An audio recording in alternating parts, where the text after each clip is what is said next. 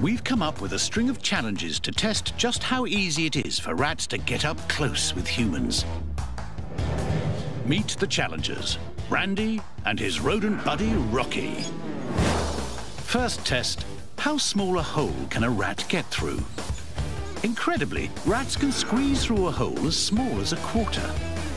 The rat's ribs are hinged at the spine, allowing them to temporarily collapse under the pressure. The general rule is, if its head fits, then the body will follow. Better block up those baseboards.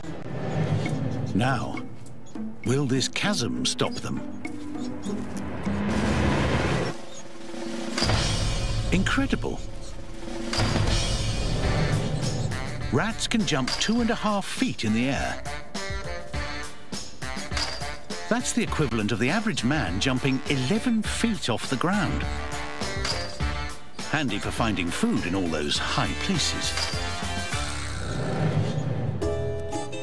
Randy's taking a well-earned breather. But will Rocky take on the high wire challenge?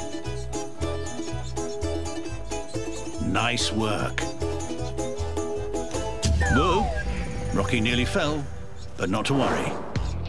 He has incredible balance, thanks to his supersized tail. A rat's tail follows a similar principle as a tightrope walker's pole. It works as a counterbalance. If he tips one way, the tail swings in the opposite direction.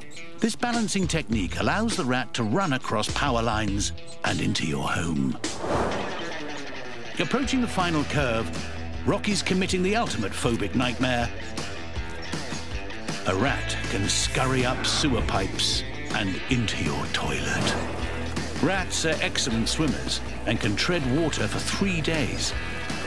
They can even survive being flushed back down because they can hold their breath underwater for three minutes.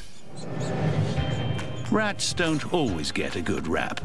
But when it comes to sniffing out food, there's no home, bathroom, or kitchen that's off limits. Which is why Randy and his agile buddies are always just a few feet away. Lunch is on me, fellas.